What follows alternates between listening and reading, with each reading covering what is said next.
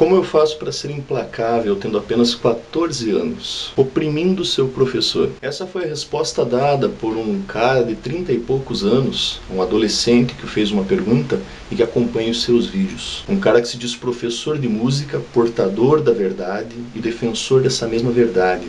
E eu admito, faço uns vídeos tirando sarro desse cara, né?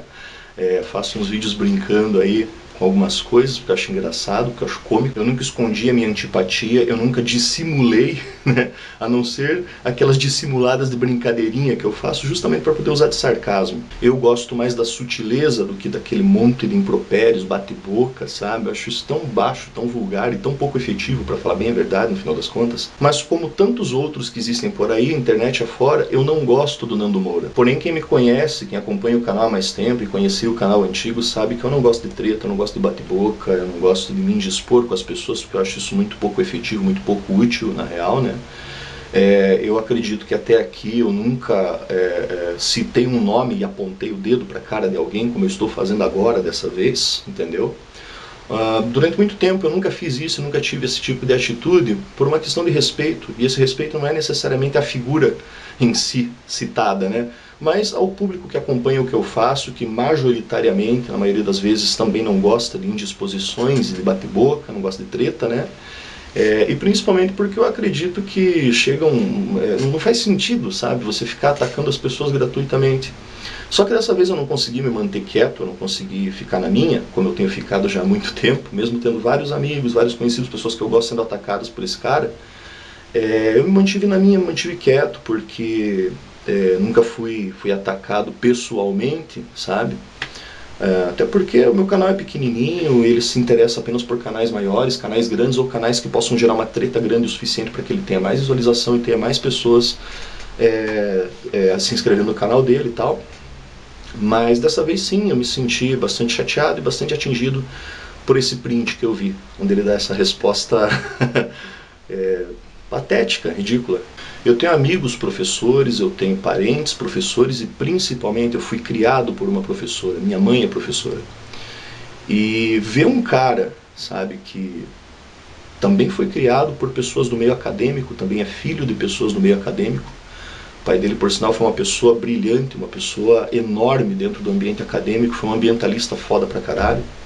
É, ver uma pessoa que foi criada por, por, por esses pais que têm falar esse tipo de coisa e dar esse tipo de resposta é triste, é revoltante, é, é patético. Eu não preciso aqui soltar impropérios, xingar, sabe, meter a boca, falar um monte de merda pra você, Nando, sabe? Não preciso porque sei lá, cara, a maior parte da internet, as pessoas que não gostam de você, que não vão com a tua cara, as pessoas que gostavam de você e passaram a não gostar por causa até de atitudes tuas, já disseram para você tudo relacionado à sua dificuldade para aceitar críticas, a sua é, agressividade, a sua mania de gritar, de esbravejar, entendeu? O seu comportamento não raro infantil, a sua intransigência, né, a sua desonestidade intelectual, que é uma coisa notória é, é chovendo molhado apontar a tua incoerência, a tua incongruência, né? a tua pobreza de, de argumentos que são muito bem embasados por uma retórica boa, você tem uma ótima retórica e essa retórica consegue fazer com que as pessoas acreditem no que você fala,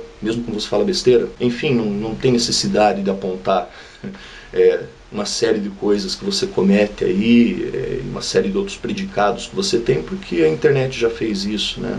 Nem preciso gastar tempo no meu vídeo dizendo esse tipo de coisa. A questão aqui é simples, você é uma pessoa que demonstra que sabe muito pouco ou praticamente nada acerca do cenário do ensino no Brasil de um modo geral, principalmente o ensino público, né? Claro, nada além daquilo que você lê num monte de blog, site, páginas tendenciosas ou em livros que foram escritos por pessoas que têm um viés tão tendencioso e tão limitado quanto o teu, sabe, que você toma como uma realidade, uma verdade absoluta algo que fica óbvio no teu modo de se expressar e nas coisas que você diz e no modo como você diz. Certamente faz muito tempo que você não chega nem perto de uma sala de aula de verdade, né, de, de fato, entendeu? É, passa a maior parte do tempo intocado dentro aí do seu mundinho, do seu universozinho, né? Onde você é um reizinho sentado num trono construído com likes e inscritos no seu canal, né? Pessoas que infelizmente parecem não ter lá muita percepção de vida, não consegue enxergar a quantidade de coisas realmente é, pouco úteis, na verdade até destrutivas que você acaba disseminando aí no seu canal. Você parece um cara assim é, é, que tem uma fome gigantesca, teu ego tem uma fome muito grande por notoriedade, por pessoas concordando contigo, endossando o seu ponto, e aí que está o ponto engraçado, né, cara? Você fala para oprimir um professor, né? Ou seja, demonstra claramente que é, a intenção é, é ter pessoas apenas que corroborem com o que você fala, né, que concordem com o seu ponto de vista e fora disso, foda-se o mundo, né? Então assim, meu irmão, vou te falar uma coisa bem séria e bem real acerca do, do como anda o ensino no Brasil, tá? É, os professores não precisam ser oprimidos por um pirralho de 14 anos porque você disse que eles têm que fazer isso, sabe? Eles já são oprimidos por um Estado que não os dá condições de trabalhar de forma realmente é, efetiva e funcional. Os professores já são oprimidos pelo próprio Estado desde muito antes do teu cabelo começar a cair da cabeça, provavelmente desde muito antes de você ter a tua primeira banda, cara, sabe? Faz muito tempo já que o Estado tá fudendo, botando no cu dos professores, botando no rabo aí dos, dos docentes de um modo geral. Atualmente o Estado limita é, os professores com um orçamento cada vez mais esdrúxulo, cada vez mais baixo para as escolas estaduais, municipais. É, os professores têm que encarar todo santo dia é, limites cada vez mais frouxos para os alunos, né? limites esses que são impostos até pelo próprio Estado, de um modo geral. Né? Os alunos são, não, não, não podem ser reprovados, é, os alunos não. É, existe toda uma série de problematizações acerca dos alunos, então o professor tem que baixar a bola para um moleque de 12 anos, 13 anos, 14 anos, entendeu? São adolescentes mimados por um formato de ensino, por um formato de escola cada vez mais mimado e, e indolente, né? cada vez mais permissivo. Então o professor simplesmente fica de mãos atadas, né? Bando de moleque mal educado, mal instruído, é, preso dentro de um sistema que já está carcomido faz muito tempo, que vai passando de ano um atrás do outro, entendeu? E foda-se. Sem sequer precisar de nota para isso. Você conhece essa realidade, Fernando? Bom, se você conhece essa realidade, talvez conheça, não sei, aparentemente não, mas caso você tenha ciência disso, não vai me surpreender se você apontar o dedo para alguma conspiração que você criou na tua cabeça dizendo isso é culpa da esquerda, isso é culpa de uma esquerda que só existe na tua cabeça, na verdade, isso é culpa de uma doutrinação marxista que também só existe na tua cabeça, né? Aliás, falando em doutrinação, eis uma coisa cada vez mais complicada e mais rara dentro de uma sala de aula, sabe? Que a tal doutrinação. Antes ela existisse. Melhor seria se existisse a possibilidade de doutrinação, né? Porque para que haja doutrinação, as pessoas precisam ouvir e acatar. Isso é uma coisa que os alunos hoje em dia não fazem. Sabe, os professores, eles não raros são exonerados dos seus cargos por tentar fazer cumprir dentro da sala de aula as suas obrigações, as obrigações dos alunos, né? E com isso o aluno se sente é, invadido, se sente agredido, né? Bota a boca no trombone, professor dança, porque afinal de contas você não pode contrariar mais os alunos. Professores são desrespeitados dentro das salas de aula o tempo todo por pirralhos, cara. Eles sofrem agressões verbais, até mesmo físicas. Não é raro que sofram até agressões físicas. Conheço até o caso de uma professora amiga da minha mãe que perdeu o dedo dentro da sala de aula porque o aluno trancou a porta na mão desta professora, né? Isso é uma coisa realmente é, bem, é realmente um professor merece ser oprimido. Isso é oprimir um aluno, um professor? Você fechar a porta e arrancar o dedo do seu professor? Parece uma forma de opressão, sim, opressão pela dor, pelo medo, né? Sabe, são desrespeitados por alunos aí que estão cada vez mais é, é sendo, sendo tratados com uma permissividade gigantesca pelo Estado. É um sistema educacional é, mal estruturado e corroído que dá liberdade para o aluno ao mesmo tempo que tira a autoridade do professor, tira a autoridade daquele que deveria ser a autoridade dentro da sala de aula. Então, meu camarada, isso daí não tem, não tem nada a ver com agendas políticas ou ideológicas, meu irmão, sabe? Isso daí está anos-luz até de ser alguma coisa relacionada com qualquer tipo de pensamento pessoal ou ideologia que um professor tenha pessoalmente e pense em falar acerca disso na sala de aula. É, os professores não, não conseguem nem passar o conteúdo programático que o Estado, né, o conteúdo programático bichado que o Estado é, os incumbe de fazer.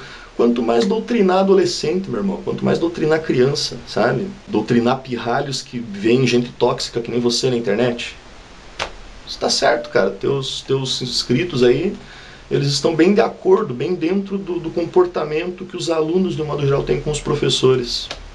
Faz sentido. você está acertando. Está conseguindo transformar a cabeça dessa criançada numa merda. Pelo menos uma parte da criançada está conseguindo transformar em, em pequenos psicopatas dentro da sala de aula. Ponto para você. Mas o motivo de eu estar fazendo esse vídeo é puramente pessoal, entendeu? É, é uma indignação, uma raiva que acaba ficando incontida porque eu não tenho como não me sentir atingido por esse tipo de comentário, sabe? É, já existem vários comentários péssimos teus em vários vídeos teus, nunca me deu o trabalho de comentá-los ou algo do gênero, sabe? Mas é, é isso daí para mim foi meio que tipo a gota d'água que faltava, assim, sabe? Você se achar no direito de falar para um pirralho de 14 anos oprimir um professor. Então é por isso eu peço desculpas aos inscritos do meu canal, às pessoas que me acompanham, que gostam do que eu faço.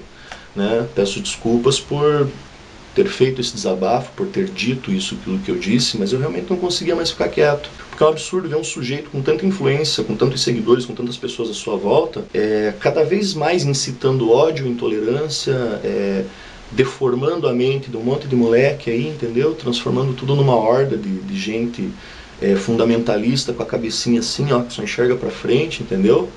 É, desestimulando o conhecimento, desestimulando o aprendizado. Né? Ele fala em vários vídeos que não, que vocês têm que ler, porque o conhecimento é a melhor arma que vocês podem ter. Que conhecimento, cara? O conhecimento que você quer limitar para eles?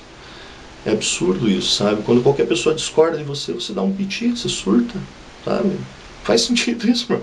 É, você tem um tipo de influência em cima dos jovens, de um modo geral, é, é onde você age de forma é, é, raivosa, com prerrogativas raivosas, agressivas, com é, desonestidade intelectual pra cacete, sabe? De forma até mesmo irresponsável, meu. Sabe? Você não tem responsabilidade com o que você faz na internet mesmo. Não, não vejo responsabilidade da tua parte. Sabe? Como eu disse, a tua retórica engana muito bem os adolescentes e consegue fazer com que vários adultos que já são extremistas, já têm uma cabeça extremada e quadrada, cair na tua, entendeu? Mas isso é desonesto, isso é baixo. Talvez você nunca veja esse vídeo, mas se você ver, é, não vai ser surpresa nenhuma para mim você ter um, dar um piti, tá ligado? Ter um ataque de pelanca e fazer um vídeo me xingando até 15 quinta geração, me imitando, tirando sarro de alguma coisa e sei lá, tipo, tentando me humilhar de alguma forma e tal. Isso não seria novidade, cara. É, é, o tipo de coisa, na verdade, que eu até espero de gente como você. Mas, francamente, eu não me importo. Eu já não me importo mais. Você já demonstrou ser uma pessoa bastante inconsequente, bastante descontrolada. Então, qual a novidade nisso, né? Qual seria a novidade em você ter uma atitude que corrobore com isso tudo que eu falei até aqui. Enfim, era isso, né? Não tem como eu não me sentir ofendido e atingido, como eu disse anteriormente, porque apesar de eu não ser da área acadêmica, é, ontem, né, eu estava de férias, então ontem eu estava no interior aí com a minha mãe, com a minha família, eu estava vendo a minha mãe no período de férias dela, sentada na frente do computador, feliz pra caralho, né? Tipo, é, pesquisando coisa pra cacete, fazendo anotação, fazendo decupagem de vídeos sobre assuntos que ela acha interessantes passar pros alunos dela e tal, numa empolgação, cara, ela do alto dos seus 60 e poucos anos de idade, assim, 40 e poucos anos de sala de aula, feliz, cara, empolgada, por mais que ela saiba que vai voltar para uma sala de aula cheia de aluno bosta muitas vezes, sabe? De criança mimada, de vários alunos muito parecidos com esses que eu descrevi ao longo do vídeo, entendeu? Ainda assim ela faz isso feliz, cara. Eu nunca vi a minha mãe reclamar da sala de aula em 40 e poucos anos aí de, de ofício, né? Eu tenho certeza que o teu pai não devia ser muito diferente dela nesse sentido, sabe? Devia ser um cara tão empolgado em pesquisar, em correr atrás das coisas quanto ela. Eu vejo esse tipo de de prerrogativa é, é, em professores que têm paixão pelo que fazem, entendeu? Então você iria oprimir o seu pai também? Você estimularia um aluno dele a fazer algo do gênero contra ele, a oprimi-lo? Eu espero, francamente, que em algum momento da vida, que algum dia você acorde para a vida e comece a enxergar as coisas de uma forma um pouco mais coerente, mesmo duvidando disso. E eu desejo mesmo, eu digo mesmo, as pessoas que te admiram, que gostam de você, que acompanham os seus vídeos, eu digo a mesma coisa. Eu espero que vocês questionem principalmente as coisas que vocês admiram, que vocês gostam, sabe? Questionem até mais aquilo que vocês admiram e gostam. É, ou com a, o mesmo empenho que vocês têm para criticar e xingar e esbravejar contra uma pessoa que se opõe àquilo que vocês acreditam ou alguém que vocês admiram, usem também para questionar as pessoas que vocês admiram, que vocês gostam, sabe? É, é, importante esse tipo de questionamento, é importante abrir os olhos e não achar que, que tudo é, é, que, que, concorda contigo, que tudo que você, você acha que está certo realmente está certo ou é justo. Nada fica impassível diante de um questionamento honesto, direto, franco e bem estruturado, diferente do questionamento desonesto, do questionamento mentiroso, do questionamento torpe. Né? Mas quem é que tem coragem de botar a mão na ferida para limpar o pus que se forma a caminho de uma gangrena? Isso daí, gente. Obrigado por terem visto esse vídeo. Um abraço para vocês e até a próxima.